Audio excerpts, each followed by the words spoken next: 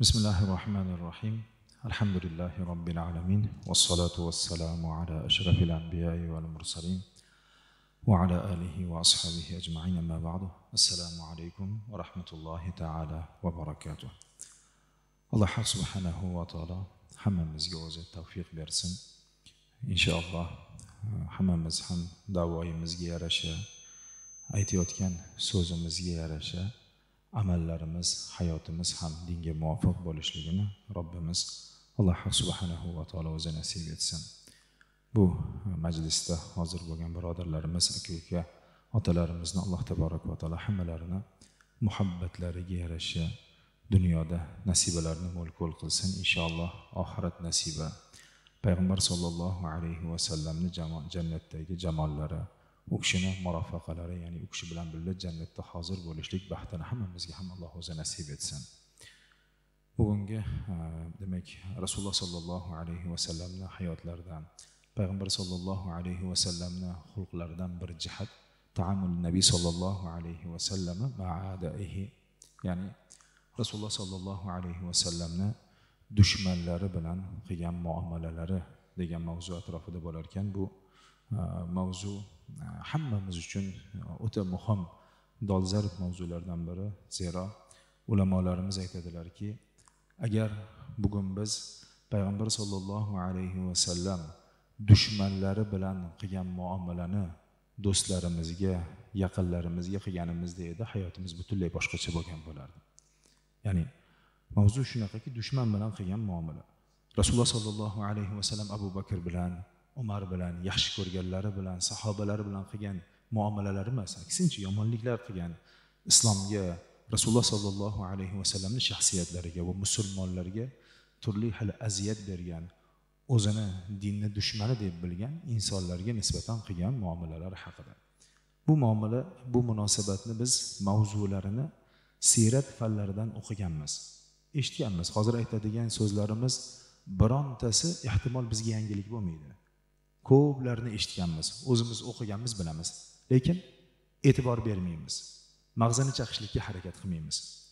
Ulamolarimiz marhamat qilib aytadilarki biz agar rasuli akram sollallohu alayhi vasallamni dushmanlari bilan qilgan muomalalarni o'rganib chiqadigan bo'lsak asosiy beshta tamoilni ko'ramiz.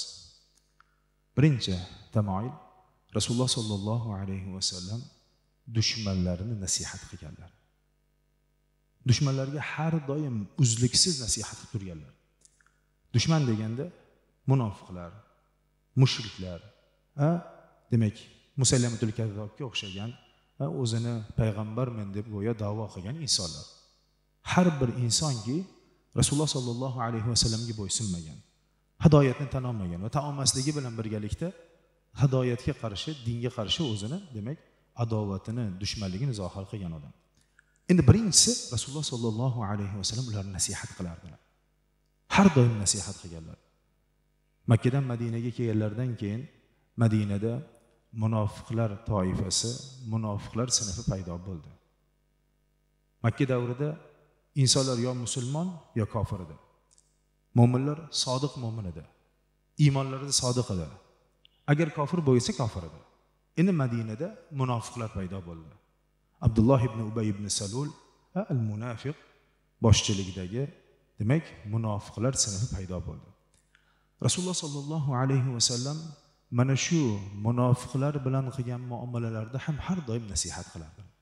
Biz buni payg'ambar sollallohu alayhi vasallamni hayotlaridan keng holatda demak tafsilotlari bilan bilamiz. Rasululloh biron bir insonni hidoyatidan diyonatidan umidlarini uzmasdilar. Hattoki uni bilardilarki hidoyat alloh subhanahu va taolodan alloh xohlasa insonlar yigirma yildan keyin ham islomni qabul qiladi. Islom birinchi kunda arz qilingan bo'lsa birinchi kunda qabul qilmaydi ehtimol. Ikkinchi uchinchi to'rtinchi hamma ham abu bakr bo'la olmaydi. Hamma ham usmon roziyallohu anhu ali roziyallohu anhulardek va boshqa demak birinchi ikkinchi da'vatlarda islomni qabul qilgan insonlar kabi bo'la olmaydi. Bugun biz do'stlarimizga nasihat qilishlikdan mallonlanamiz odatda hammamiz yani oila boshliqlariga xitob qilinadiki oilamizdan umidimiz uzilib qoladi. Farzandlarimizdan bir marta ikki marta namozga qur'onga dinga chaqiramiz. Agar ularda buni aksini ko'radigan bo'lsak darrov umidimizni uzamiz. Tushkunlikka tushamiz. Xatiblarimiz voizlarimiz ko'p tanqid qiladigan narsalardan bittasi bugun masjidda birinchi qatorda o'tirgan insonni oilasida farzandlari namoz o'qimaydi. Ahllari dinsiz. Chaqirdingmi desa ha ulardan umid yo'q deydi. Nechi marta chaqirding? Qancha da'vat qilding? Qancha muddat? Bir kun ikki kun uch kun bir yil da'vat qildingmi?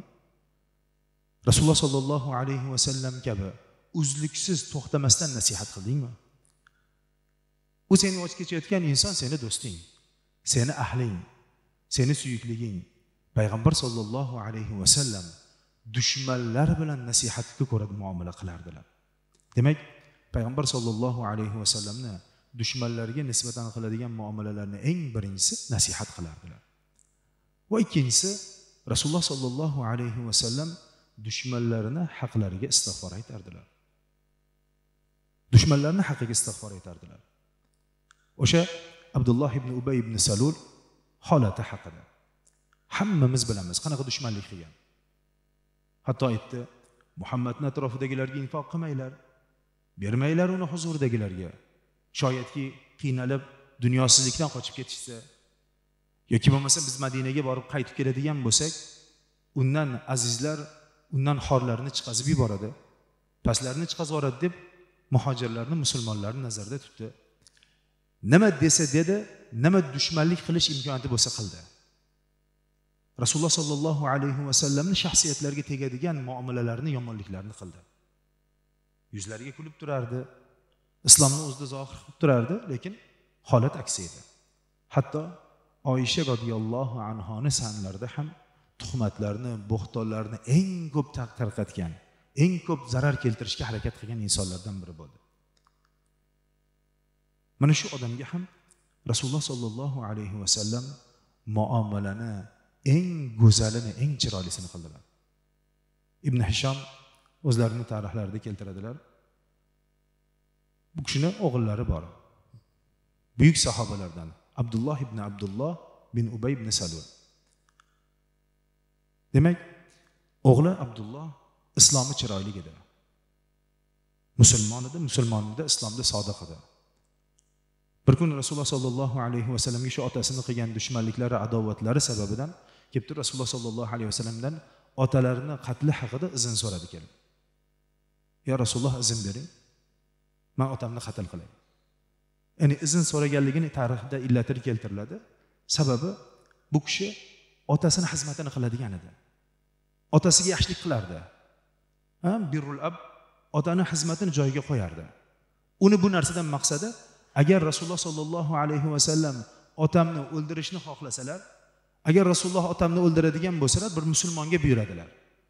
U musulmon uni o'ldiradi keyin man haligi musulmonga dushman bo'lib qolaman. Iymon keltirgan insonga nisbatan qalbimda yomon ko'rish nafrat paydo bo'lib qolishi mumkin chunki otamni o'ldirgan bo'ladi. Otasini kimligini bilardi otasini qanaqa dushmanligini bilardi. Shundoq bo'lsa ham demak u kishiga yaxshilik qilardi va demak yaxshiligini sababidan rasululloh sollallohu alayhi vasallamdan izn so'radi. Payg'ambar sollallohu alayhi vasallam yo'q biz u bilan yaxshilik bilan suhbat qilamiz dedilar. Biz uni o'ldirmaymiz. Boshqa rivoyatlarda abdulloh ibn ubay ibn salul haqida keltiriladi men muhammad sahobalarni o'ldiribdi degan gapni xohlamayman dedilar. Odamlar shunday deyishni xohlamayman. Demak rasululloh sollallohu alayhi vasallam uni o'ldirmadilar. Va hatto demak u munofiq vafot qildi. U inson o'ldi. O'lgandan keyin o'g'li abdulloh rasululloh sollallohu alayhi vasallamni huzurlariga keldi. Ya rasululloh otam vafot qildi. Manga kiyimingizni bering. Tabarrukan rasululloh sollallohu alayhi vasallamni muborak jasadlariga tegib turgan kiyimini rasululloh sollallohu alayhi vasallamdan kelib so'radi. Payg'ambar sollallohu alayhi vasallam kiyimlarini yechib berdilar. Va yana rasulullohdan otalarini haqqiga janoza o'qib berishlarini so'radi. Payg'ambar sollallohu alayhi vasallam rozi bo'ldilar. Masjidga olib kelindi. Munofiq edi. Bugun biz gapiradigan gap najas edi. Unda hech ham yaxshilik yo'q edi. Unda hech ham xayr yo'q edi. Rasululloh sollallohu alayhi vasallam buni bilardilar. Uni oxirgi paytlarda dushmanligi shunday bo'ldiki hech kimga endi sir bo'lmay qoldi. Umar roziyallohu anhu payg'ambar sollallohu alayhi vasallam to'xta ya rasululloh munofiqga janoza o'qiysizmi? Munofiqga janoza o'qiysizmi? Uni haqqiga istig'for so'raysizmi? Janoza namozini hukmlaridan hikmatlaridan bittasi mayitga haqqiga istig'for aytish. Mayitni alloh subhanahu va taolo gunohini kechirishligini so'rab duo qilib namoz o'qish. Ya'ni duodan murod bu yerda namozdan murod duo. Demak rasululloh demak janoza o'qidilarmi? Uni haqqiga istig'for aytayotgan bo'ladilar. Payg'ambar sollallohu alayhi vasallam aytdilarki robbi robbim menga ixtiyor berdi. janoza o'qish yoki bo'lmasa o'qimaslikka menga ixtiyor berdi man o'qishlikni ixtiyor qildim allohga qasamki alloh subhanahu va taolo oyat nozil qildi istag'fir lahum أو لا تستغفر لهم إن تستغفر لهم سبعين مرة فلن يغفر الله لهم istig'for aytasizmi istig'for aytmaysizmi yoki bo'lmasa ularga haqqiga yetmish marotaba istig'for aytasizmi alloh subhanahu va taolo ularni kechirmaydi Aytdilarki rasululloh allohga qasamki agar yetmishtadan ko'p istig'for aytsam alloh uni kechirganida edi man istig'for aytgan bo'lardim dedilar. Bu yerdagi yetmishtadan murod uni gunohi kechirilmasligini ma'nosi ekanligini rasululloh sollallohu alayhi vasallam ifoda qildilar. Uni gunohi kechirilmaydi. Qancha istig'for etsang ham deyilindi agar olloh yetmishtadan ko'p istig'for aytsam gunohini kechirganda edi man undan ham ko'pini aytgan bo'lardim deb payg'ambar sollallohu alayhi vasallam marhamat qildilar. Va uni janozasini o'qib berdilar. Demak payg'ambar sollallohu alayhi vasallam dushmanlarni haqlariga istig'for aytardilar. Bugun biz do'stlarimizni istig'forni esimizdan chiqazib qo'yamiz.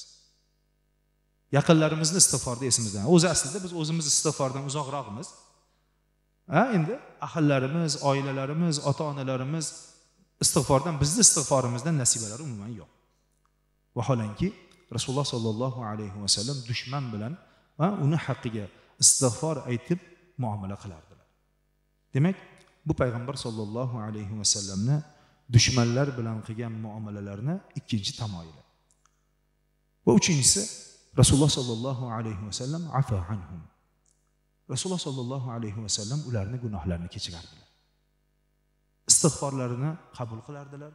Agar ular payg'ambar sollallohu alayhi vasallamdan kechirim so'rashsa afu so'rashadigan bo'lsa rasululloh qabul qilardilar. Hattoki afu so'ramasalar ham ularni haqlaridan o'tardilar. Tarixda buni misolini yuzlab topamiz. Sumamat ibn isal misolini ko'rishimiz mumkin. Ha payg'ambar sollallohu alayhi vasallam askarlarni jo'natdilar. Ular najid qabilasidan sumamani ushlab kelishdi. U o'zini qavmini sayidi edi. Ushlab kelishdi keyin madinadagi masjidni bir ustuniga bog'lab qo'yishdi. Sumama boshqa dinni dushmanlariga o'xshab turib islomga zarar yetkazgan insonlardan bittasi. Dinga zarar qilgan musulmonlarga aziyat bergan insonlardan bittasi. Bog'lab qo'yilindi rasululloh sollallohu alayhi vasallam uni oldiga keldilar. Nima xohlaysan?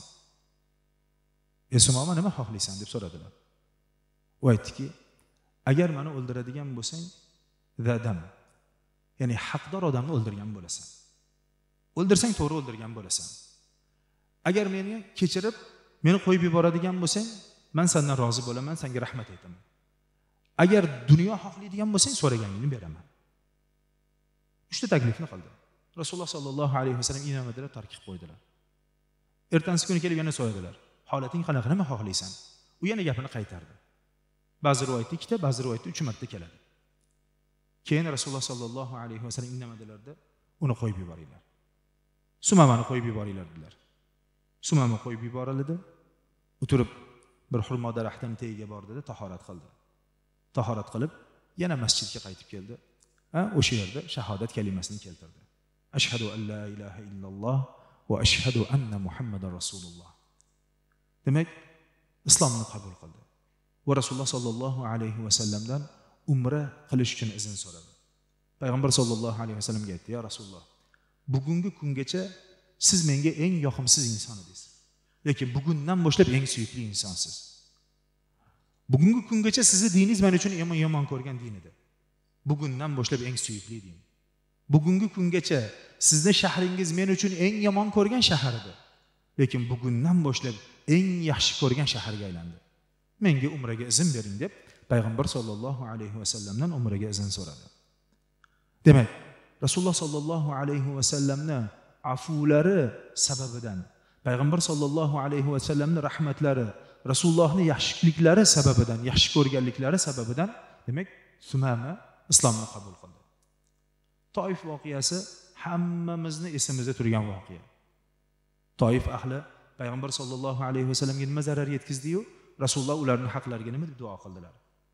Yoki bo'lmasa fathi makkada payg'ambar sollallohu alayhi vasallam ey quraysh meni haqimda nima deb o'ylaysiz? Nima kutyapsizlar? deb payg'ambar sollallohu alayhi vasallam ulardan so'radilar. Ey karamlik birodar karamlik uka sendan faqatgina yaxshilikni kutamiz deyishdi. Vaholanki quraysh nima qilganini o'zi yaxshi bilardi. Qanaqa zarar keltirganini bilardi. Biz payg'ambar sollallohu alayhi vasallamga yetgan aziyatlarni agar birma bir o'tirib sanaydigan bo'lsak hali o'zimiz u narsalarni sezmasdan badanimiz chidolmay qoladi. Qalbimiz ko'tara olmay qoladi u narsalarni.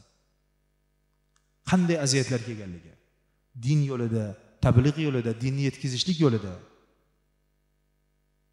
Demak makka mushriklarga sizlar ozodsizlar ketaveringlar. Demak payg'ambar sollallohu alayhi vasallam dushmanlar bilan qiladigan muomalalarda kechirimli edilar. Kechirardilar endi bugun bizni hayotimiz qanaqa? Hammamiz yaxshi bilamiz.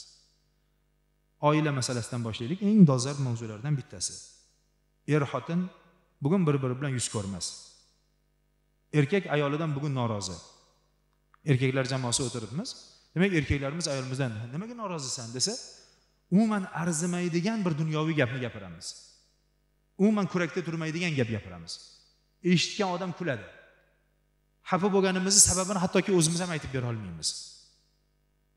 Kechirib bo'lmaydi deymiz. Kechira olmayman. Nima qildi desa tayinli gap yo'q. Manga gap qaytardi. Vaqtida kelsam ovqatim tayyor emas ekan falon ekan fiston ekan mani haqorat qildi. Yaxshi bilamiz ayolni haqorati hech narsani bildirmaydi.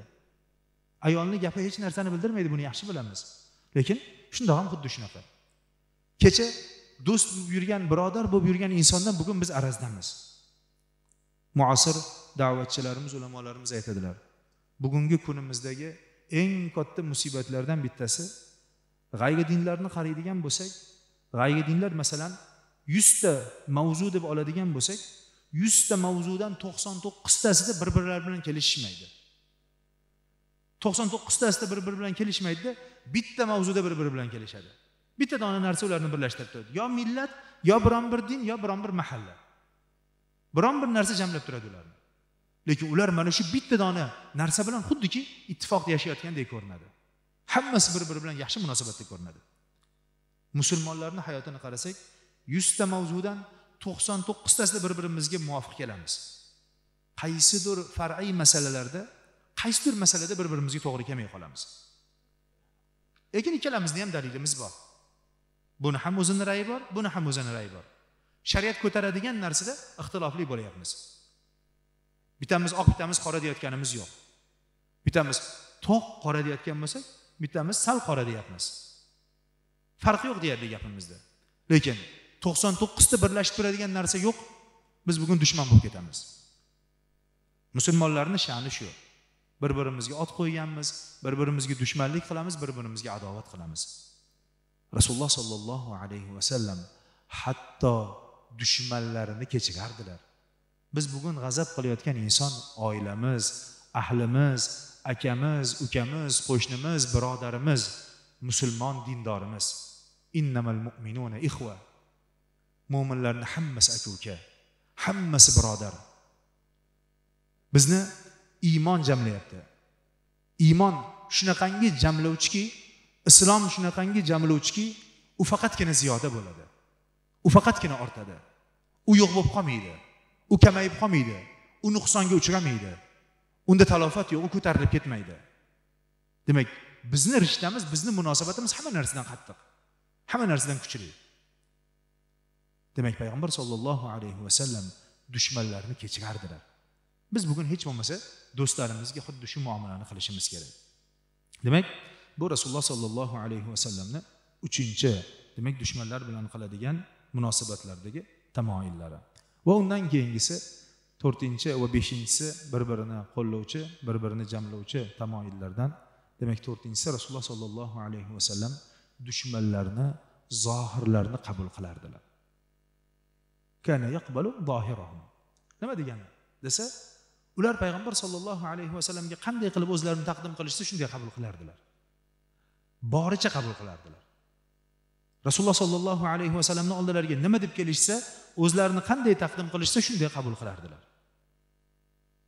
Va beshinchisi payg'ambar sollallohu alayhi vasallam ularni botini sirlarini alloh taologa topshirardilar zohiri qabul qilinadi botini alloh taologa mana shunday yashasak bizni hayotimiz ham to'g'ri bo'ladi oson bo'ladi. Biz biron bir insonni qalbidagi narsani bilolmaymiz biz biladigan narsalarimiz faqat zohir qilingan narsalar. Ko'rsatilayotgan narsa tashqarimizga chiqazayotgan narsa ko'rinadi xolos. Shu yerda jamlanib o'tirganlarimiz o'zimizni odamlarga har qanaqa taqdim qilishimiz mumkin. Muammo yo'q unda. Xohlaganimizcha o'zimizni ko'rsata olamiz. Aytamizku bugun insonlar o'zlarini eng yuqori dindor qilib ko'rsata oladi. Bunga mahorati bor. Qo'limizga tasbeh ushlaymiz ko'rinishimizni chiroyli qilamiz kiyimimizni to'g'irlaymiz. Og'zimizdan ba'zi bir zikrlarni tasbeh takbirlarni zohir qilib chiqazib qo'yamiz. Ko'rgan odam bizni farishta deb o'ylaydi. Ko'rgan odam bizni ideal deb o'ylaydi. Endi shu odamni ikkinchi odam ko'radida endi ichida uni yomon ko'rishni boshlaydi hozirgi yoshda ha deydi yurishingni qara deydi. Ichida hech narsa yo'q deydi. E, bu falon edi man sani kimligingni bilaman deydi. Sani taniyman deydi. Hali u bilan muloqot qilmasdan uni qalbini bilmasdan uni maqsadini bilmasdan turib uni yomon ko'rishni boshlaydi. Bugungi kunda ko'p adovatlarimiz shuni orqasidan kelib chiqyapti. Masjidda yonma yon turamiz namoz o'qiymiz bir birimizni yomon ko'ramiz. Hammaga baho qo'yadigan bo'lib ketdik. Odamlarga qaraymizda baho qo'yamiz. Hamma insonga o'zimizni fikrimizni bildiramiz. Biz unga taklif qilinmaganmiz.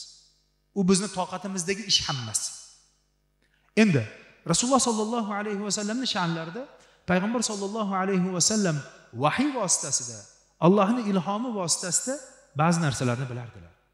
Munofiqlarni tanirdilar. Ular kelib rasululloh sollallohu alayhi vasallamga o'zlarini uzrlarini aytishardi. Tabuk g'azoti bu narsani misoli. Tabuk jangi haqida bilmagan musulmon yo'q. Tabuk g'azoti haqida bilmagan musulmon yo'q.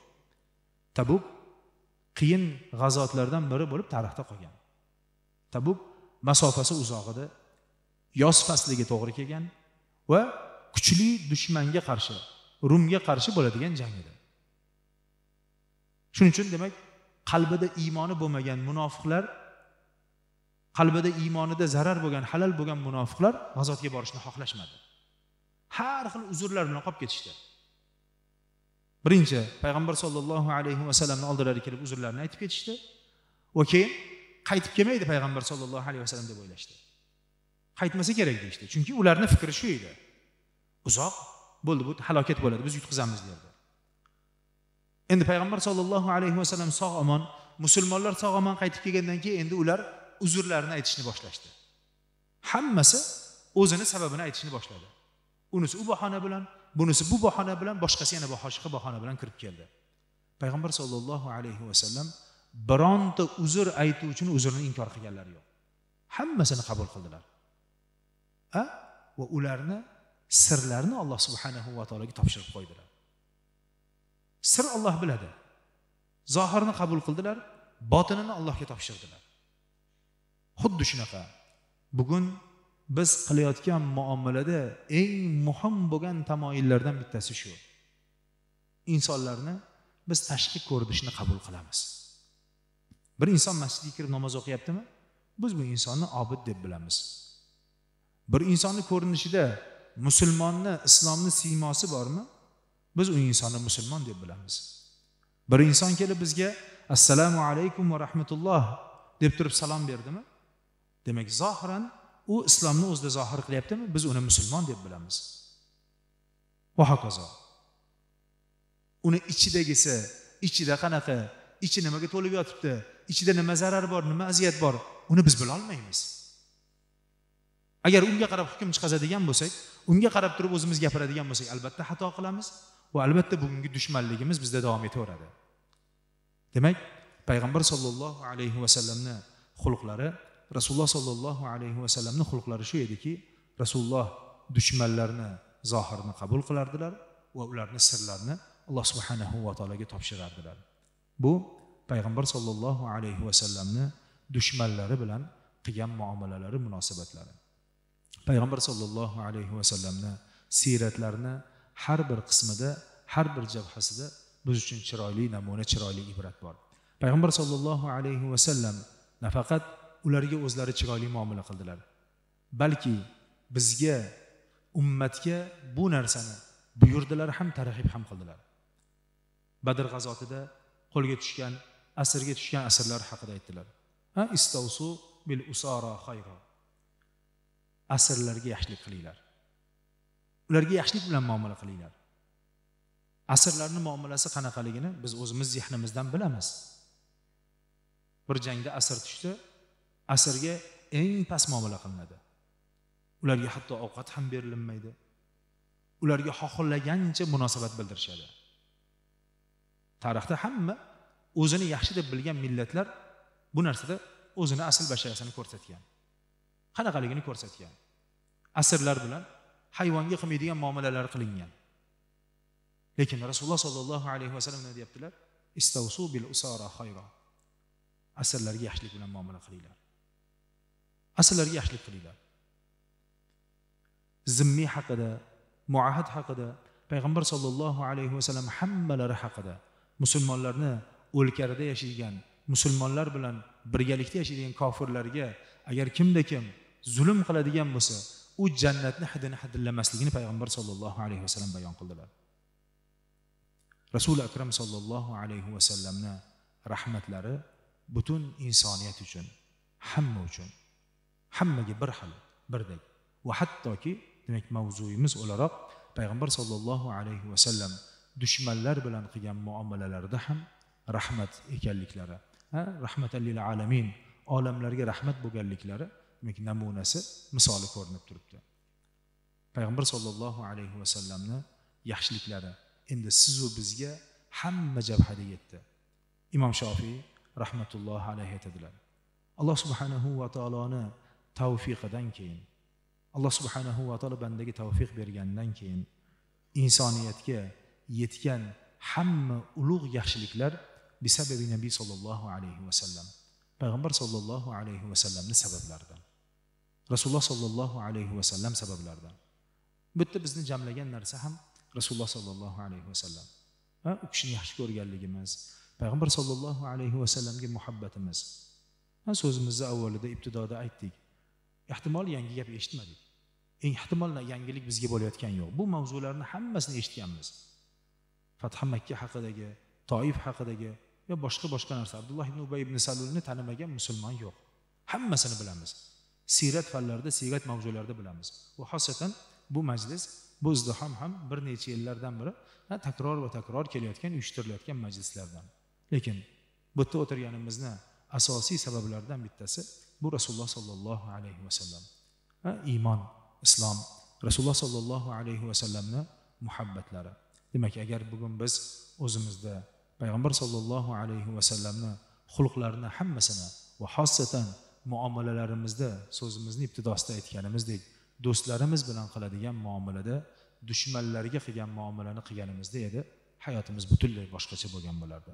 Muhabbatga yaxshilikka o'zaro birodarlikka maqsad qilingan birodarlikka jamiyatimiz to'lgan bo'lardi.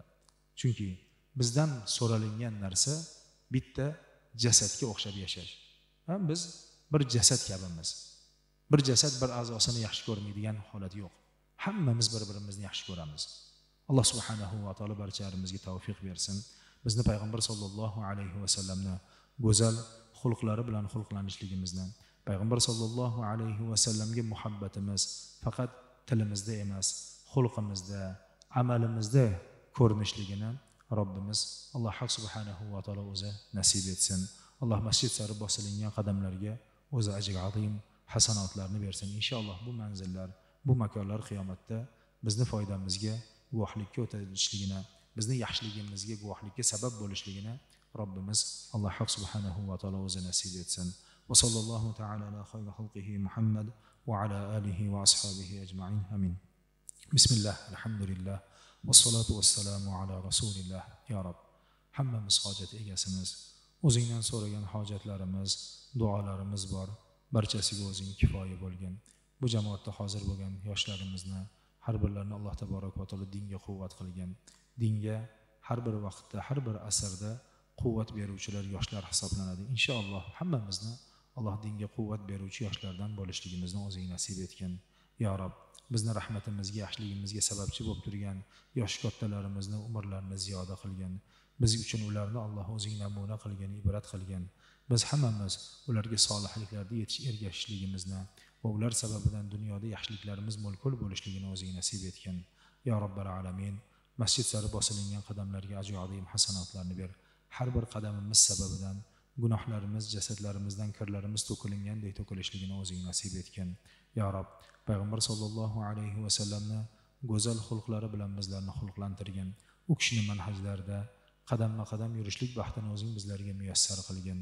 Bu masjidda faoliyat yurib turgan yuritib turgan imom domlamizni noib imomlarimizni har bir xodimlarimizni alloh subhanahu va taolo xizmatlariga yarasha himmatlariga yarasha ajrlarni savoblarni o'zing ko'paytirib bergin. Bu bayting qiyomatgacha ibodat qilinadigan qiyomatgacha turadigan o'zingni yerdagi aziz baytlaringdan biri bo'lib qolishligini o'zing muvaffaq qilgin. Va sallallohu taala ala xayri xalqihi muhammad va ala alihi va ashabihi ajmain bi rahmatika assalomu alaykum va rahmatulloh